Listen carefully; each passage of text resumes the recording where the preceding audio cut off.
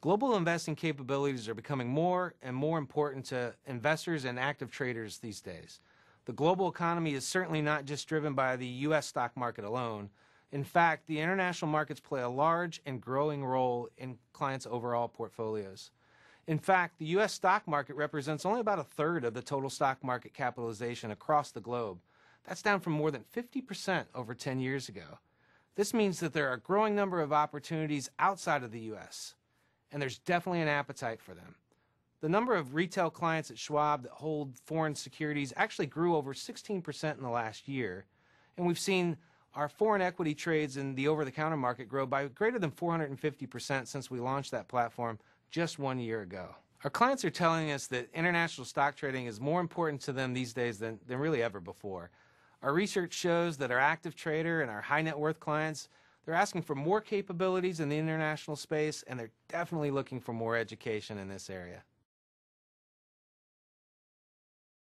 Today, investors can already trade international companies using US dollars in the over-the-counter market and by using American Depository Receipts or ADRs. While accessing foreign equities using ADRs or the over-the-counter market might make sense for some investors, demand for investing directly in the foreign local market or even taking a position in the currency itself will continue to grow as investors look for new ways to manage risk and ultimately enhance their overall return. There's an opportunity for investors and traders to hedge their exposure to a foreign market by actually holding the local currency. A country's stock market often has a low correlation with its currency movements and vice versa. This means that a foreign stock market and its currency value may in fact move in opposite directions.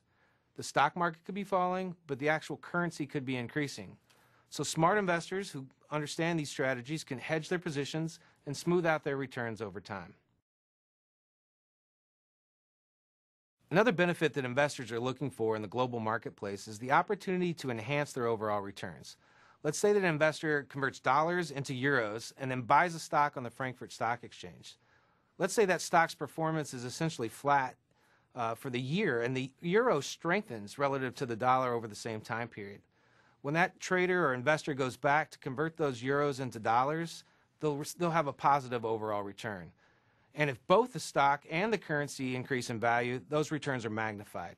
Of course, investors need to be mindful that the opposite holds true as well, which is why it's important to seek out the right information regarding international investing overall. Investors need to be knowledgeable about the product and the market they're investing in and have a clear understanding of the risk of both investing in the foreign currency as well as the foreign equity markets in order to make the best overall informed decision. That said, investors are increasingly looking for new opportunities in the global marketplace, and there are plenty of them out there. Access to those markets, including local market trading, is becoming more and more approachable and more efficient than ever before, allowing investors to create a thoughtful global strategy that really will enhance the returns in their overall portfolio.